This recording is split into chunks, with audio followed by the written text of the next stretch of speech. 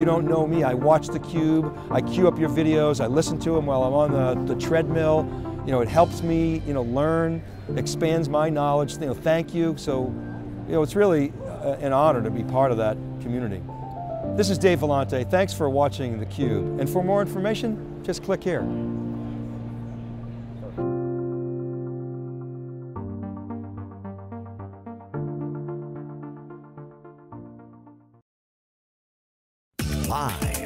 From Santa Clara, California, it's theCUBE. Covering Open Networking Summit 2017. Brought to you by the Linux Foundation. Hey, welcome back everybody. Jeff Frick here with theCUBE. We are winding down at Open Networking Summit 2017. It's quite a conference, a lot of buzz about open source as it goes into the networking space and continues to, to find traction. A lot of big companies donating projects to open source. And then of course 5G and IoT and you know, the, the innovation never stops. So Scott, really enjoyed having Scott Raynovich uh, co-host with us for these last couple days. Scott, what'd you think? Thanks again, Jeff. It's, it's been a great show, lots of activity, some good, good news flow, actually announcements, you know, and people opening up to us about open source, as you, as you said, lots of, uh, lots of good stuff. Right, so I, I, I should have checked the tape from 2014, because I think you actually co-hosted theCUBE at ONS in 2014, That's a long right. time ago, right. but clearly the narratives are changing quite significantly from there. So totally different world. You've, totally you've different. been following this thing forever, so before we get into some of the specifics, just kind of your general impressions of, of direction and speed in that direction as we continue to evolve. Sure, sure. Well, uh, we talked a little bit about it with uh, Martin, and uh, Martin kind of talked about it in his keynote, how when he started Nicira, which uh, for those of you who don't follow the SDN world was the kind of one of the first big open networking startups, you know, let's have our code base be based on open source and have commodity hardware run the software. So anybody can swap in any hardware and run the software. That's the concept of open networking and SDN and uh, as Martin pointed out, when he started, it was like a speculative academic project. And Right. He had no idea what it would become, and he, you know, pointed out it's now after it was acquired by VMware, it's now a billion dollar business. So, um, I think, uh, and then we have other people like uh, AT&T talking about in the keynote, John Donovan talking about how they're moving from you know 30 percent SDN open networking last year to f- more than 55 more than 50%, so they're going to cross over to so that the, the majority of their network will be based on uh, homegrown open networking technology. Right, right. Using, leveraging all, a lot of this open source that is the, the main topic of this show, which is run by the Linux Foundation, which has become kind of the giant mega aggregator of uh, networking open source technologies. So it's, you know, the, the main message is it's, um, we've gone from the academic uh, speculative phase to the actual let's get this stuff into production let's run networks on it Right. uh, and let's deliver your youtube videos faster right Right, right. And as you look at the sponsorship behind us, right, a lot of startups, a lot of uh, innovation, you know, that comes with open source, but you know, you still got Cisco and Juniper and the incumbents, um, and you know, we had Dave Ward on from Cisco. So as you look at kind of the incumbent positionings that, that benefited from a non-open source world and dedicated uh, integrated boxes. Absolutely. How do you see them, you know, reacting and shifting in this new kind of market paradigm?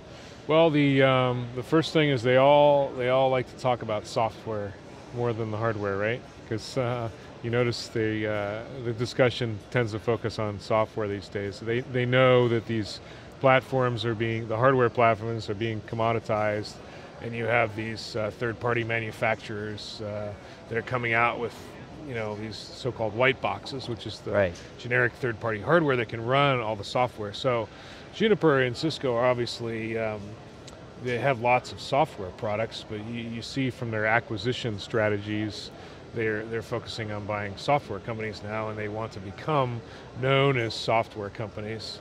Um, and uh, I think you know they have a they have a shot. They they certainly haven't. Uh, let's let's not uh, say that Cisco hasn't stopped selling network gear. There's still Right. a huge Sell a power lot in of the space, and uh, it's not like everybody is running out to buy you know commodity hardware. It's they're still looking for people to help them integrate, people to help provide service and support.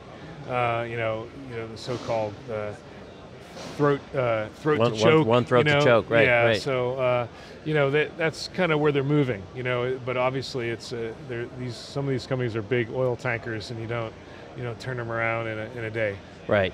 And then we had um, Intel on, interesting conversation about 5G. Um, basically the message being 5G is now, you, you're saying, you know, coming back from Mobile World Congress, it's not quite now, but Mhm. really the point was we're preparing for it coming, which is why Right, right. the preparation is now. So again, your Right. perspective on 5G, interesting keynote this morning, you're talking about orders of magnitude of change in the mobile network uh, data capacity over, Yes, over all these yes, various yes. iterations and how it's really moving too from you know, voice to data, but now not only from data from people, but obviously things, Internet of Things. So as you look at that kind of evolution, it's coming, right? It's coming in a big, big, big way. Totally, totally.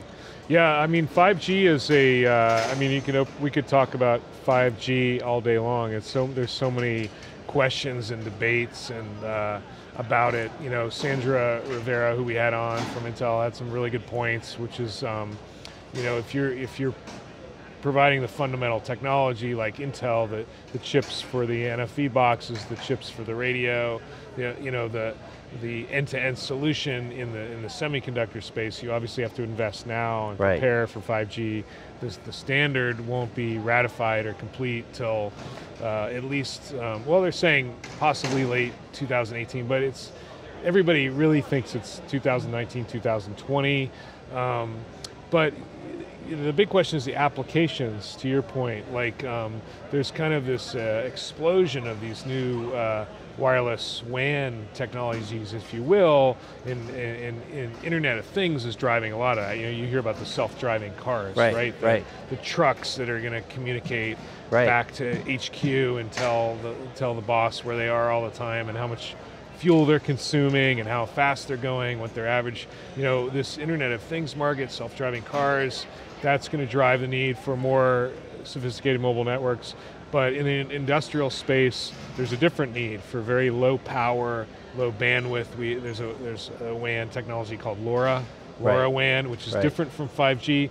So what people are trying to figure out with 5G is the applications. Where where does it fit in? What, what is actually 5G? You know, Verizon has announced a point-to-point 5G pilot projects. It's it's really pre-5G, you know, because 5G isn't here, but they're they're kind of experimenting with um, as a fiber replacement. You know, Jeff needs faster broadband. Mm. He doesn't want to wait for the truck to come in and install Dig the cable. uh, the cable. Maybe we'll have 5G as a, a as a new last mile solution, point to point, or point to point for businesses. You know, the the big oil derrick in the you know that needs a, a big pipe. You know, there's there's many different applications that are being right. discussed.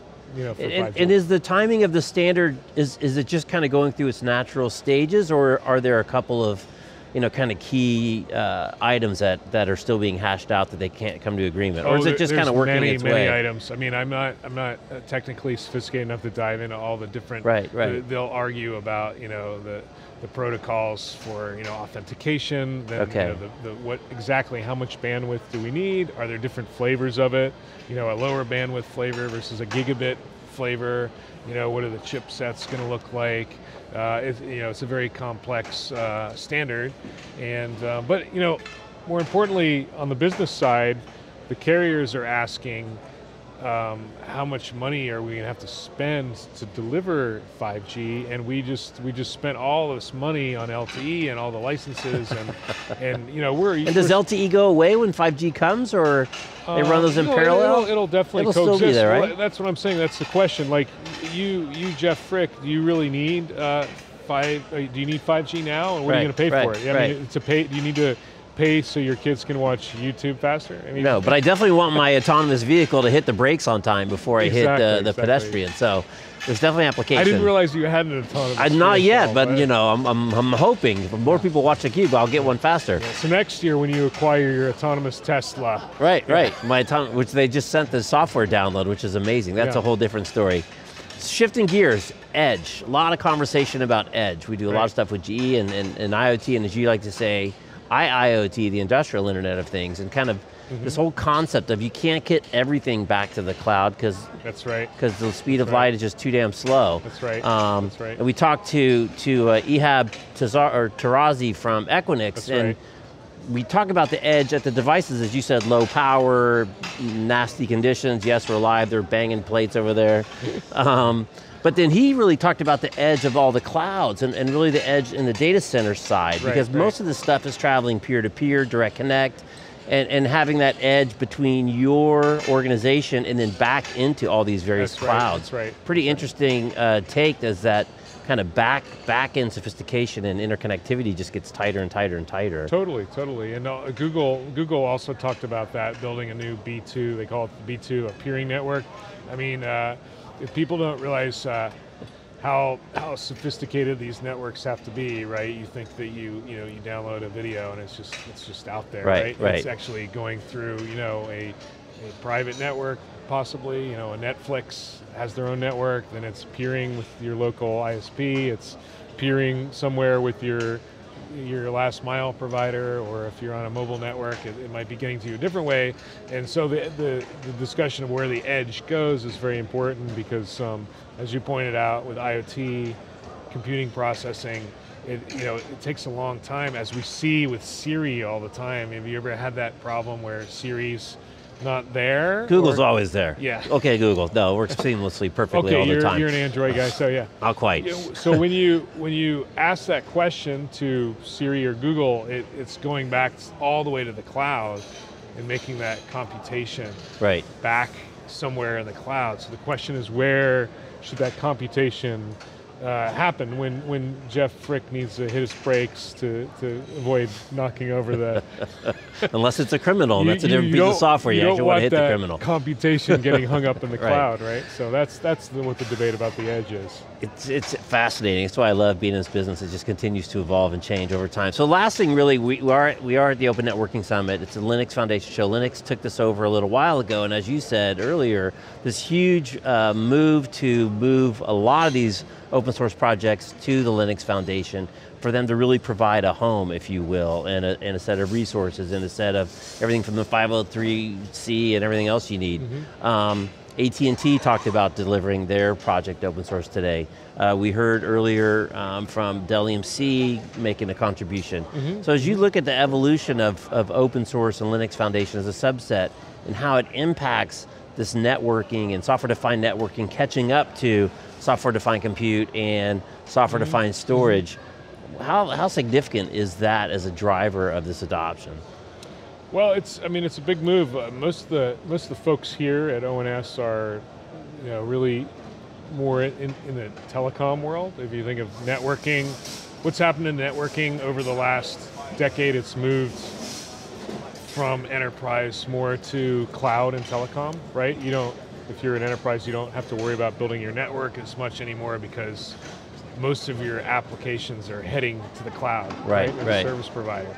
So they are uh, emulating, you know, what what the cloud leaders did, which, you know, the cloud leaders such as um, Google, uh, you know, were very aggressive with open source, and uh, the telecom players saw how fast they moved. Right, by, right. By sharing code and and having a uh, more of a grassroots approach to building the, the code base. So that's um, the reason why it's a big move is that's a huge shift for telecom, right? Because Right, telecom right. has for decades built their proprietary networks. So Right. You want LTE, okay, we're going to do it our way. We're going to work with a, a vendor and, and take years to build this very specific proprietary network.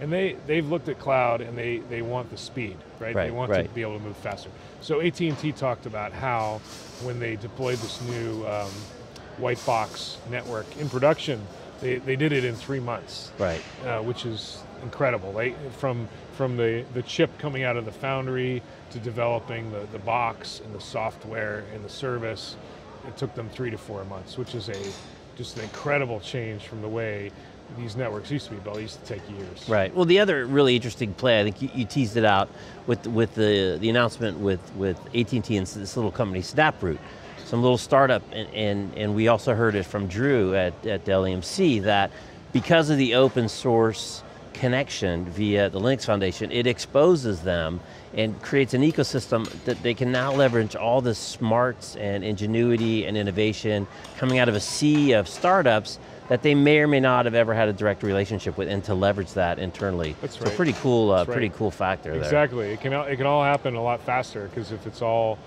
based on open standards, you just can plug it in. And it does, you don't just plug it in. It doesn't work the first day. But Right.